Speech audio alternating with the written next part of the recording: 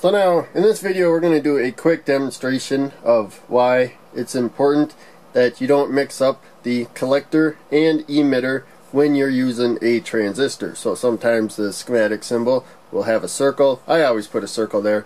I think it makes it easier to keep track of the components, but it may not be circled. So, in any case, the collector emitter, the collector in if you're using an NPN transistor, this is the 2N3904.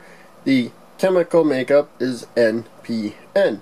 So, unfortunately, if you're building a circuit by a schematic and you put the collector where the emitter should be and the emitter where the collector should be, the circuit may still work and uh, it likely will work. But you still want to avoid that because the properties of the base to emitter differ from the collector to emitter. So to begin with, this top circuit here is wired like this. I'm using high value resistors because we're going to put current through this transistor backwards from how it is intended to be. And uh, so the top one up there is wired like this and you can see this one's facing the other way because they're both 2N3904s because I have it wired backwards. So here we have the emitter towards the positive side of the power supply, collector towards the negative. That's what you don't want.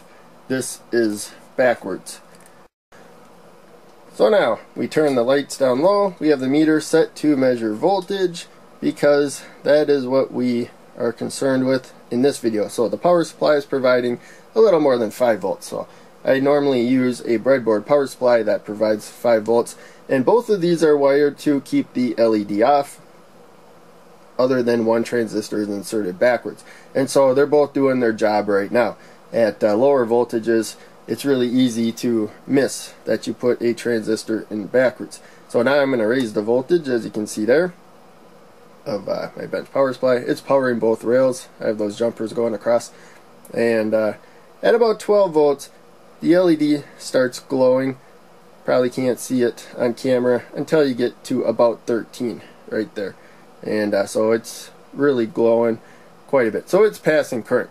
The main thing is it should be passing virtually no current just like this one. They're wired the same other than the transistor being backwards on the lower one. So there we already have a failure. So the uh, 2N3904 is rated to block or to have about 40 volts across it and work properly from collector to emitter.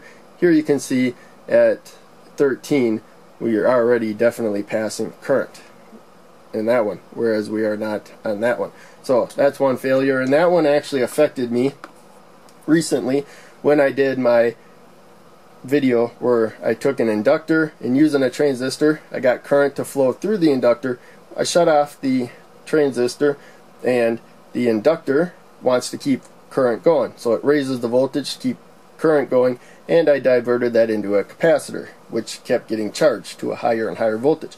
And the uh, circuit was not working. I think I spent like an hour or two. All it was was a backwards NPN bipolar junction transistor. So that was one of the things to motivate me to make this video. Make sure you got the pin layout and that's why I commonly there's the backwards one. Add this here. So when you're looking at the flat side, emitter's to the left, base is to the middle, and collector is to the right.